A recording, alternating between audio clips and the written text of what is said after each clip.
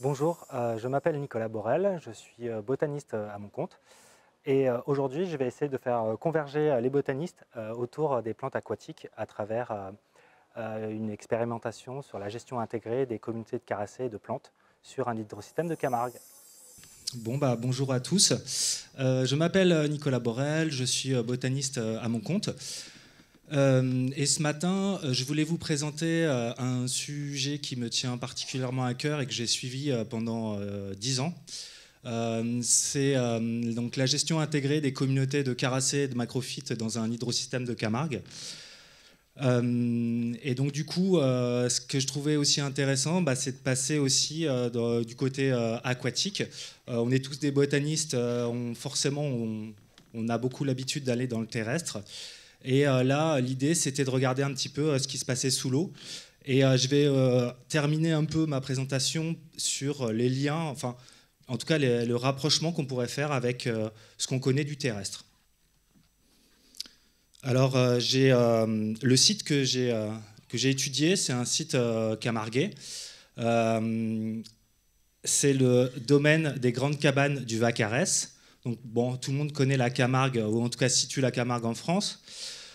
Euh, c'est un site qui se trouve euh, à peu près euh, central dans l'îlot de Camargue, donc dans l'île de Camargue, qui est comprise entre le Grand Rhône et puis le Petit Rhône, et un site qui est à l'ouest de l'étang du Vacarès, qui est bien connu. ce sont des étangs, des séries d'étangs de chasse.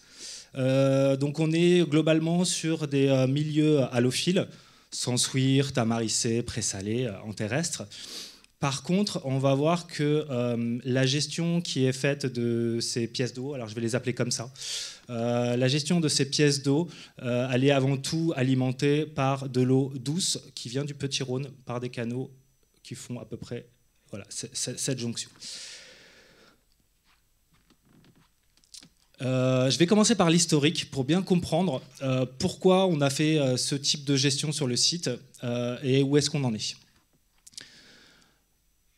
Alors, euh, ce que l'on sait de manière certaine, c'est que ce site des Grandes Cabanes, entre les années 60 et 2012, était des étangs de chasse privés. Euh, la gestion qui était pratiquée, c'était une mise en eau permanente toute l'année pour la chasse. On peut aussi peut-être remonter plus anciennement, peut-être que c'était encore des mises en eau permanentes avant les années 60, mais on n'en a, pas la, certitude, on n'en a pas la preuve. Mais c'est très possible. Donc vous voyez, c'est vraiment des hydrosystèmes qui, euh, qui ont été euh, euh, vraiment aquatiques pendant de très très nombreuses décennies. Et puis, lors de leur acquisition en 2012 par le Conservatoire du littoral, euh, qui a donné la gestion à l'Office national de la chasse et de la faune sauvage dans un premier temps, qui est devenu ensuite l'OFB. Euh, et euh, dès cette acquisition, donc moi j'ai commencé à travailler tout de suite sur le site avec eux. dès 2012, il est apparu qu'il fallait faire une gestion différenciée sur ces, sur ces pièces d'eau. Et notamment la nécessité de faire un ASEC estival qui, est apparu évident tout de suite. Quoi. Euh, pourquoi? Parce que je vais vous montrer. Donc, euh, je ne vais pas avoir beaucoup de photos parce que ce qui est difficile, c'est que dans les, dans les milieux aquatiques, ce qui est difficile, c'est de, bien sûr de, de, voir et de représenter les, les, espèces. Il faut avoir quand même un, matériel qui est, qui est assez puissant. Donc je vais, voilà, je vais vous montrer quelques photos pour qu'on ait des références tout au long de l'explication. Donc, grosso modo, euh, on a hérité de ces étangs euh, qui étaient permanents toute l'année, avec un envasement euh, absolument phénoménal. C'est-à-dire que quand on décidait d'aller là-dedans en waders, on s'enfonçait et on y restait. Quoi. Donc impossible de ressortir du, de, l'étang. Donc on prenait des barques, les Barteg camarguaises, pardon. On prenait les, les, les, bateaux à fond plat camarguais pour pouvoir aller chercher des plantes. Mais on trouvait que très peu de plantes aquatiques. Il y avait à peine du myrophile en épi, un peu de Stuckenia pectinata, et c'est tout. Et encore, elles, elles avaient du mal à s'implanter là-dedans. Euh, ce qu'on a fait, donc, comme je vous l'ai expliqué, on a fait un ASEC estival long. Euh, donc, ce qu'on appelle ASEC estival long, c'est euh, entre 3 et 5 mois autour des mois de l'été. Donc, de mai à septembre, on va dire. Et là-dessus, donc, on a une forte minéralisation des vases avec un craquellement donc, de ces limons camarguais, qui sont très très lourds. Et voilà un peu l'aspect de la sec en été, l'été suivant. Et puis quand on regarde la réponse au printemps suivant, ben, on voit qu'on a une germination d'un milieu qui avait l'air complètement abiotique en termes de, bota, euh, bah, on a un milieu qui où il y a une, intense germination qui a eu lieu, donc un développement de, beaucoup d'espèces. Et là, un petit zoom sur, euh, sur quelques espèces, notamment bah, Riella, euh, décaracée. voilà à peu près quelques, points de, quelques photos, des points de référence. Euh, donc en fait, il fallait aussi pouvoir suivre ces végétations et la succession de ces végétations euh, au cours du temps. Euh, et donc, ce qu'on a fait, c'est qu'on a pris un échantillonnage de 12 pièces d'eau et on a réalisé un relevé phytosociologique de type sigmatiste sur un carré de 20 mètres carrés. Et on, moi, je l'ai appelé comme ça parce que je ne savais pas trop comment faire. Hein. Je faisais des, relevés phytosociaux en milieu terrestre, mais en milieu aquatique, je ne savais pas trop comment faire. Donc euh, voilà, en format aquatique, c'est-à-dire qu'on a une strate hydrophytique avec euh, dedans des plantes, des caracées et des bryophytes. Et une autre strate qui va être hélophytique. Et en plus de euh, se relever, je vais relever également sur mon cheminement pour arriver sur ma parcelle euh, je vais relever toutes les espèces aquatiques que je euh, trouve sur mon chemin. Parce que bah, finalement, sur euh, une grande pièce d'eau, 20 mètres carrés, c'est pas beaucoup d'informations. et donc, du coup, ça va pouvoir permettre de compléter un petit peu le relevé. Alors, je vous présente le site. Donc là, il est borné en, noir. On voit, il fait à peu près tout ça et les différentes pièces d'eau. Donc des fois, c'est des toutes petites pièces d'eau. Euh, des fois, on a des grands, euh, des grands marais très importants, vous voyez, des grands marais comme Costière, qui est très important, ou Tortue. Et puis, on a d'autres petites, petites pièces d'eau comme Vidal, euh, Salle ou Claire, ou même Olive, qui sont toutes petites. Donc, on a des tailles différentes d'étangs qui sont, qui sont. Alors, ce qui va être, euh, prépondérant de, comprendre chez les plantes aquatiques, c'est les paramètres qui fluctuent et qui vont, permettre d'expliquer euh, pourquoi on a tel ou tel type de végétation aquatique. Euh, alors, bien sûr, on est en Camargue, donc tout d'abord, on, va se dire, tiens, la salinité.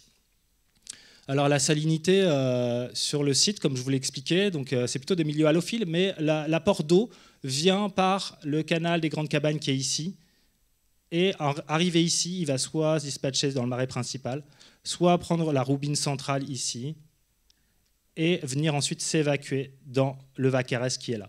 Et à travers cette roubine centrale, on a des tout petits canaux qui vont alimenter toutes nos pièces d'eau. On les voit en turquoise, qui sont cartographiées sur la carte des habitats. Voilà.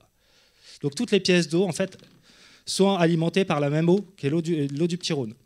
Et en termes de salinité, quand on fait les mesures, on a entre 0 et 3 grammes par litre ce qui veut dire de l'oligoalin. Donc, on a globalement euh, très très peu, enfin pas d'affluence du sel sur nos communautés. Euh, globalement, on a des espèces d'eau douce. Hein. L'atrophie, bah, comme je vous l'ai dit, c'est l'eau du Rhône qu'on injecte dans plusieurs étangs et puis qui ressort après quand on vidange les étangs. Donc l'atrophie est toujours la même, l'atrophie n'est pas bonne, hein, euh, clairement. et enfin, le dernier grand paramètre, c'est l'hydropériode. Et là, effectivement, euh, l'hydropériode, c'est le seul paramètre qui, fluctue et que nous, on arrive à faire fluctuer sur ces étangs-là, puisqu'on gère complètement euh, l'entrée et la sortie de l'eau euh, grâce à des pompes. Hein. et donc, du coup, on va avoir une action vraiment significative grâce à ce paramètre-là. Alors, en fonction des objectifs de gestion, parce qu'on a aussi euh, des objectifs de gestion euh, bah, par rapport aux oiseaux, euh, par rapport à, donc à, de la faune, en fonction des objectifs de gestion du, site, bah, on va réaliser des assecs longs, donc de 3 à 5 mois, des assecs courts de 2 à 3 mois, ou le maintien en plan d'eau permanent toute l'année. Et ça, donc sur 10 ans. Donc ça va être très intéressant parce qu'on va pouvoir suivre la réponse de la végétation au printemps suivant et cela sur 10 ans. Donc il y a des étangs qu'on va laisser en permanent, 4, 5 ans, et après on va leur faire faire un ASEC. Il y a des étangs sur lesquels on va faire des ASEC chaque année, et, d'autres sur lesquels bah voilà, ça va être une gestion très différenciée. Donc ça, on va avoir des, choses intéressantes qui vont pouvoir sortir. Donc les premiers résultats, les premiers résultats donc tout d'abord la richesse spécifique, hein, c'est peut-être le plus facile à interpréter, donc 10 minutes. Grosso modo, ce qu'on peut dire, c'est qu'on a beaucoup, euh, on a quand même une très belle richesse hein, pour, euh, pour des communautés aquatiques. Hein. En général, on n'a pas autant d'espèces. Alors évidemment, c'est suivi sur 10 ans, donc là, j'ai cumulé toutes les espèces que j'ai trouvées en 10 ans. Donc euh, forcément, ça, ça, commence à faire. Mais on a quand même 15 taxons en plantes indigènes. on a quand même alors 5 taxons en exogènes. Je me suis, vous aurez vu, l'emnagiba, je l'ai noté deux fois, donc il faut l'enlever des exogènes. On a 13 taxons quand même en carassé, donc c'est pas négligeable. Et puis on a une bryophyte. Donc on a allez, 35 euh, taxons quand même qui sont présents dans ces étangs. Donc c'est vraiment, euh, vraiment remarquable. Et puis bah, on a quand même des espèces qui sont euh, patrimoniales. ou en tout cas protégées, donc la Zanichelli pédonculée, la Zanichellia peltata qui sont protégées en PACA. en carassé, on a quand même Caraconivens qui est quand même une, grosse rareté, en tout cas à dire d'experts, très très peu de stations euh, dans le sud de la France et même euh, en France. Et puis bah, en bryophyte, on a bien sûr euh, Riella notarisi, qui est très patrimonial et très rare. après, on a aussi d'autres espèces qui sont vraiment pas communes, comme Caragalioides ou Calitrich truncata. Enfin, on a quand même des choses intéressantes. Donc voilà en termes de, patrimonialité. Voilà pour vous présenter un peu les espèces patrimoniales. La riella, là qui commence à peine à commencer à, fructifier. Euh, les, deux Anikeli et puis Caraconivens.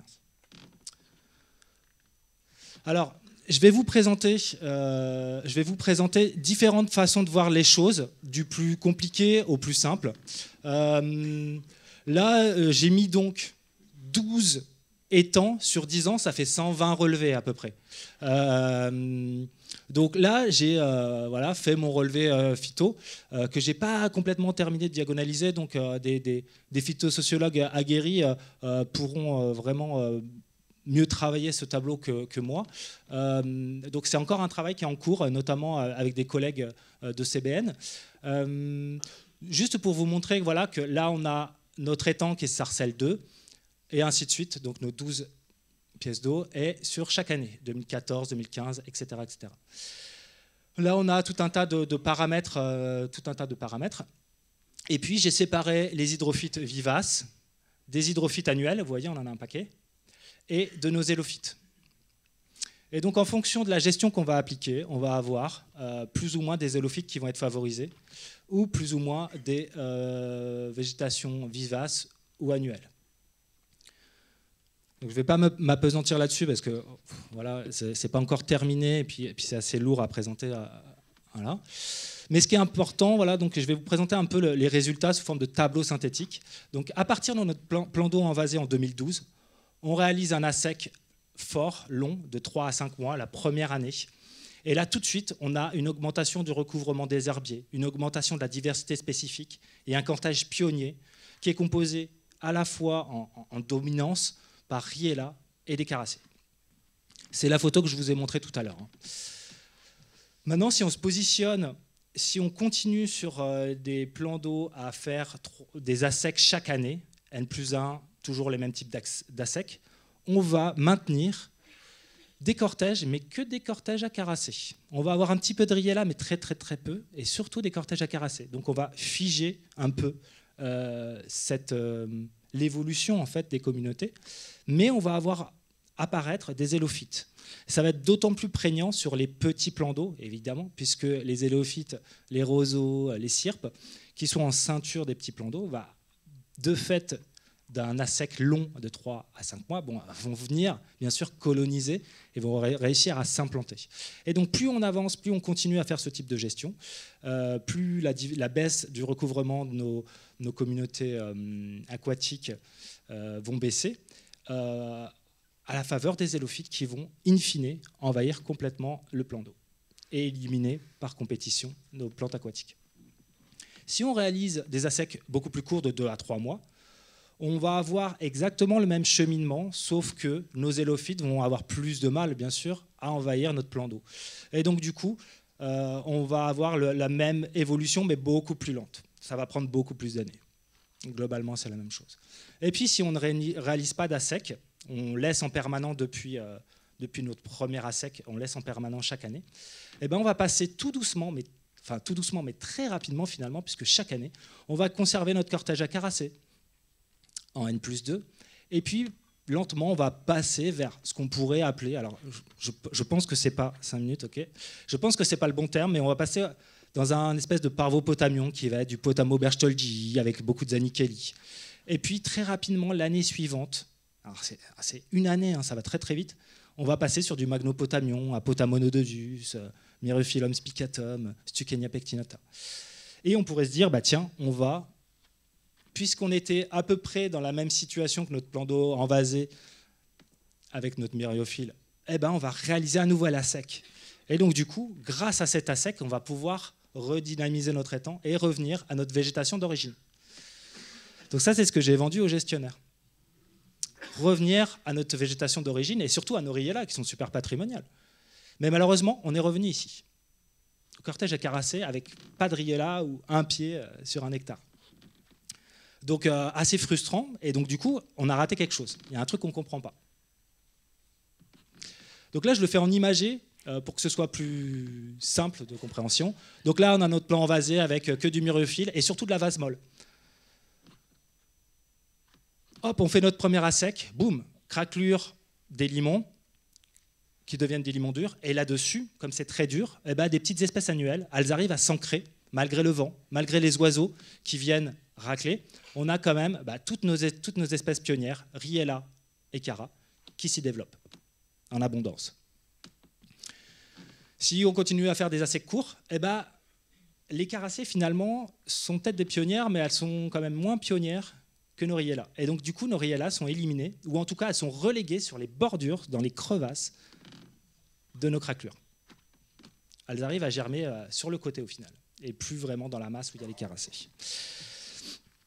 si on continue à faire des assez longs chaque année, eh ben, on a quand même nos communautés de caracées qui, arrivent qui continuent à se maintenir, mais avec euh, des roseaux qui, euh, qui viennent et qui colonisent d'année en année un peu plus, jusqu'à l'atterrissement complet. Si on met, des, donc, si on met en plan d'eau permanent sur au moins deux ans, eh ben, on va avoir un petit peu de myriophiles et surtout beaucoup de zanichelli et de potamo de qui vont venir se développer. Mais on commence à avoir des vases molles. Hein. Euh, deux ans de plan d'eau permanent, euh, les vases commencent à être bien molles. Et puis, bah, si on continue dans ces, en N plus 3 à avoir euh, des plans d'eau permanents, bah là, on arrive complètement dans, le Magnopotamion, Myriophyllum spicatum, Stuckenia pectinata. Et puis, bah, on n'a pas du tout de, on pas du tout de plantes annuelles pionnières. Quoi. Donc voilà pour les schémas. Et donc du coup, moi, ce qui m'a beaucoup euh, embêté, parce qu'on fait tout le temps, enfin on fait tout le temps, on fait souvent euh, de l'anthropocentrisme ou du zoocentrisme. Et quand on est bah, botaniste, bah, on connaît quand même bien nos milieux terrestres, mais euh, on n'arrive pas bien à comprendre nos milieux aquatiques. Et donc du coup, j'ai voulu comprendre à travers, enfin faire une corrélation entre ces milieux terrestres et ces milieux aquatiques. Et en fait, c'est comme si on avait une tonsure à la base, une tonsure euh, qu'on connaît tous, hein, avec eh ben, des bryophytes, des espèces quand même assez euh, pionnières, des bryophytes et puis quelques espèces annuelles. Euh, ça, ce serait nos caracées. Et puis si chaque année, on réalise notre perturbation qui est la sec, ici représentée par notre gars qui, qui tond et donc qui régénère, hein, qui, casse un peu la dynamique, eh ben, on, on arrive à à peu près maintenir quelque chose de pionnier, mais pas complètement pionnier, puisque c'est que les caracées qui arrivent à se développer là-dedans. Et puis, bah, euh, on, nous a toujours appris qu'il fallait faire des assecs, des assecs, des assecs en milieu méditerranéen. Et donc, du coup, on peut continuer à vieillir et à continuer à faire comme ça tout le temps, sans retrouver notre végétation d'origine euh, avec nos tossures pionnières, ultra pionnières. Et puis bah voilà, si on laisse un peu euh, sans tondre notre, sans perturbation, sans tondre notre pelouse, ben, on va avoir des végétations avec euh, euh, des hémicryptophytes, des vivaces qui, vont se qui vont se mélanger à, nos annuels. Puis si on laisse un peu plus, donc ça c'est nos végétations azanichelli par exemple. Puis si on laisse un peu plus la nature faire et la dynamique se faire, eh ben, ça va se faire envahir par des lignes bas ben, comme des pruneliers épineux. ça c'est nos végétations, on va dire, du magnopotamion. Et puis, si on, ne fait pas, euh, si on ne laisse pas euh, jusqu'à cette dynamique-là, eh ben, si on ne réalise pas une perturbation forte et importante, comme quand on est, comme quand on est sur, un, sur une pelouse calcaire qui est complètement envahie et qu'il n'y a pas un feu ou qu'il n'y a pas une, grosse action humaine de débroussaillage, de mise en pâturage, voilà, on n'a pas euh, comme, euh, euh, dans l'exemple ici du feu, on n'a pas des conditions pionnières qui, se, qui, se, qui, sont recréées pour pouvoir revenir dans notre système ici, très ultra pionnier. Voilà, c'était un petit parallèle que je voulais faire avec, avec ça. Donc, je passe aux conclusions puisqu'on n'a plus de, de, temps. Les conclusions, sont multiples. J'avais à peu près deux fois euh, toutes ces conclusions que j'avais notées. Puis j'en ai enlevé beaucoup parce qu'il y a beaucoup à dire. Euh, ce qui est important, c'est que l'hydropériode se révèle être le facteur déterminant dans la gestion des zones humides méditerranéennes. On voit que c'est ça qui régénère euh, nos communautés. La dynamique est très très rapide sur les cortèges aquatiques, beaucoup plus rapide que sur les milieux terrestres que la gestion sans ASEC pendant plus de trois ans, donc là on a réussi à quand même à chiffrer quelque chose, c'est quand même intéressant, favorise l'envasement et donc le magnopotamion. Donc en trois ans, on arrive déjà au bout de notre évolution euh, euh, de, notre cortège, de nos cortèges aquatiques. La gestion par ASEC peut également servir à lutter contre les hydrophytes exotiques envahissantes. Ça, c'est quelque chose qu'on a pu vérifier. Euh, on a réussi quand même à bien gérer la Jussie grâce à ces ASEC forts. Il y a une certaine similitude avec certains milieux terrestres de pelouse. Euh, c'est pas pour rien qu'on appelle ça des herbiers aquatiques. Euh, les résultats ne sont pas forcément extrapolables à d'autres zones humides. Donc là, cette expérimentation-là, euh, elle va peut-être pas forcément marcher sur un autre hydrosystème. parce que bah, on n'a pas beaucoup étudié ces milieux-là. là, on a vu que c'était pas salé. on est sur des limons qui sont quand même très très riches. On est en Camargue, c'est des limons très très riches, donc la dynamique elle est très très rapide. Euh, donc des suivis de végétation aquatique seraient à initier sur une grande variété de, zones humides pour mieux les comprendre. Et surtout, euh, on se rend compte qu'au euh, niveau phytosociologique, on n'arrive pas à, se raccorder à, grand-chose, puisqu'on a beaucoup de syntaxons qui reposent que sur un seul taxon. et donc du coup, ça se révèle inexploitable. Dans les relevés, voilà, sur un relevé, sur un étang, on a 15 taxons. Donc on aurait presque 15 syntaxons parfois. Enfin, J'exagère, mais c'est presque ça. Et, donc, et aussi l'idée de conservation, d'état de, conservation est appréciée sur plusieurs années, parce qu'on voit bien que si on ne passe pas par certaines étapes d'évolution, on n'arrive pas à revenir sur notre, nos, cortèges, nos, cortèges initiaux. Donc en fait, l'état de conservation, si on les prend à un instant T, bah, ça ne va pas nous donner beaucoup d'informations. Voilà, donc je, je, termine en remerciant euh, les collègues de l'OFB qui travaillent sur le site, euh, Benoît, Claire et Nicolas. Lucie qui m'a aidé pour les, euh, pour les représentations, les iconographies. Et puis des collègues euh, avec, euh, du CBN de Bayeul, sur lesquels, bah, des anciens collègues sur lesquels on échange beaucoup sur les plantes aquatiques. Voilà, je vous remercie.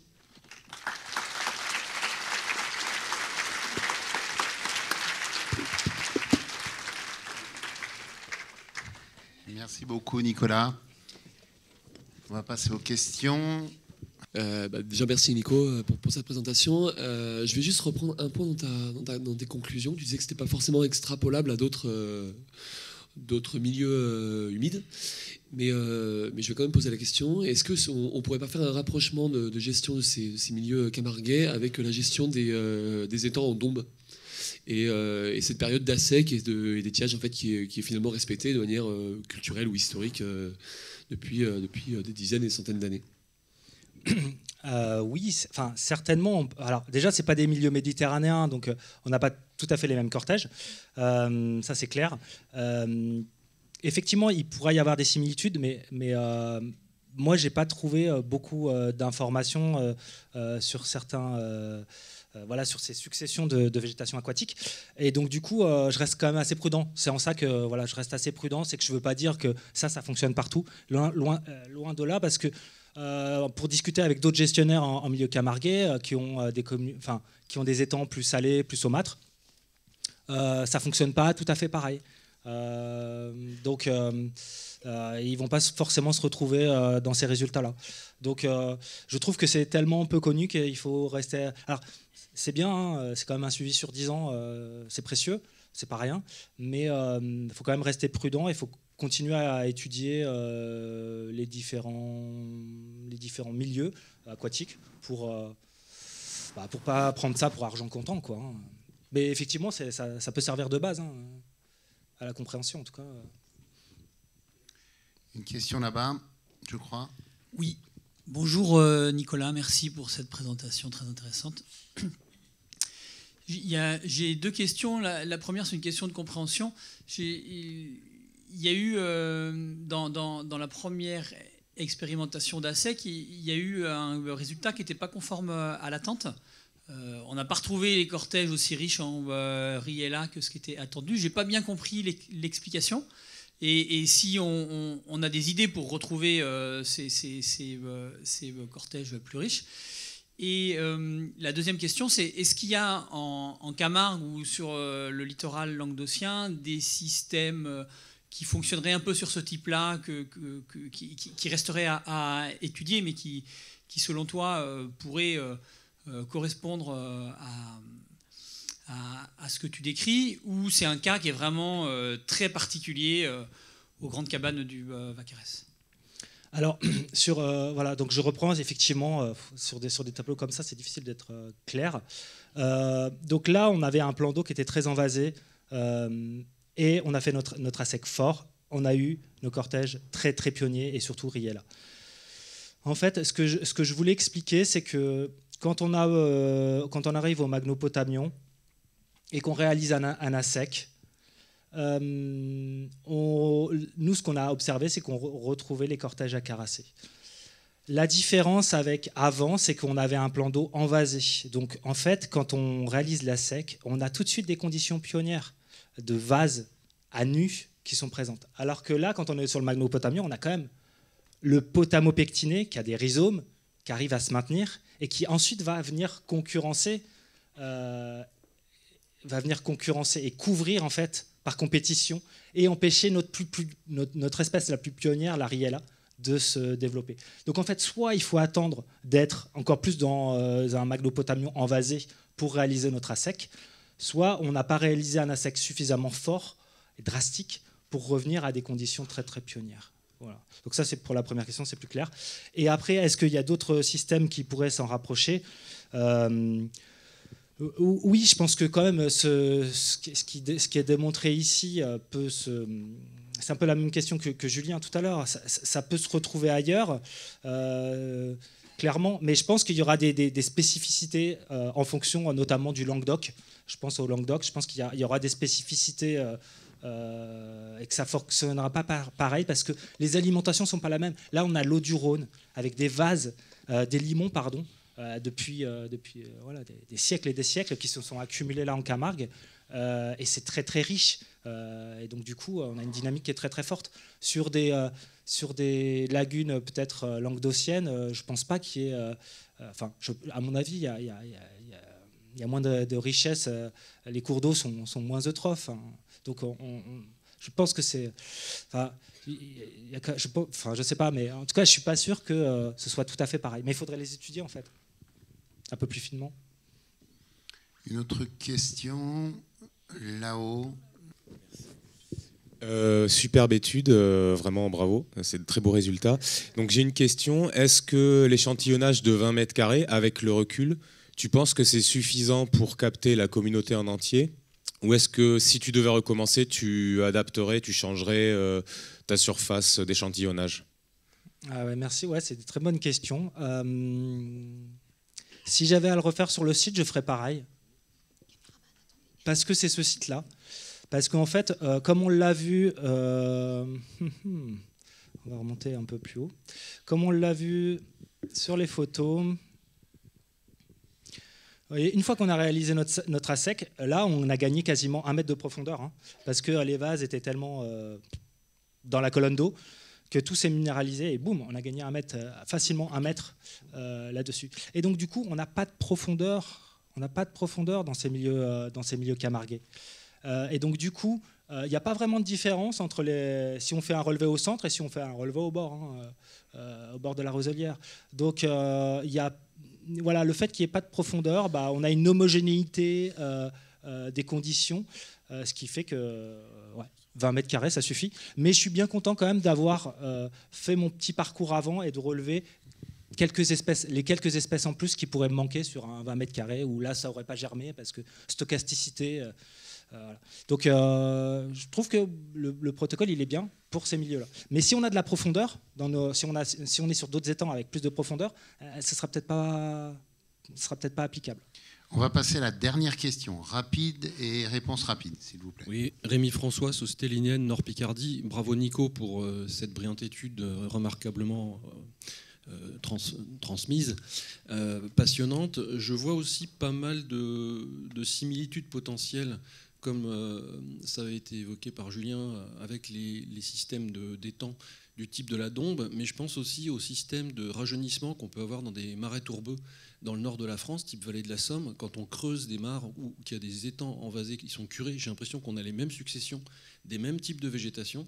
Alors, ce n'est pas les mêmes cortèges, évidemment, parce que le contexte n'est pas le même, mais j'ai l'impression qu'on a un peu les mêmes phénomènes et qui euh, corroborent tout à fait ce que tu dis. On crée des tonsures, donc on recrée l'installation de systèmes pionniers.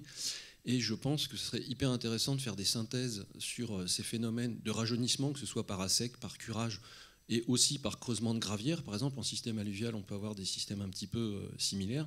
Et faire une synthèse euh, nationale sur tous ces phénomènes permettrait de combler ce manque de connaissances scientifiques des dynamiques euh, végétales, et notamment parce qu'il y a souvent beaucoup de patrimoine à, préserver derrière. Merci beaucoup. merci, bah, tu as tout dit. Hein. Cool. Merci Nicolas. Merci.